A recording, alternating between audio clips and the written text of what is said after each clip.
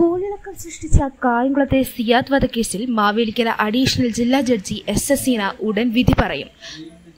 Mavelikkara additional district court മൂന്നിലാണ് വിധി പ്രസ്താവം നടക്കുക. പ്രതികളെ കോടതിയിൽ ഹാജരാക്കി. രണ്ടായിരത്തി ഇരുപത് ഓഗസ്റ്റ് പതിനെട്ടിനാണ് കേസിനാസ്പദമായ സംഭവം നടന്നത്. C D net news Mavelikkara.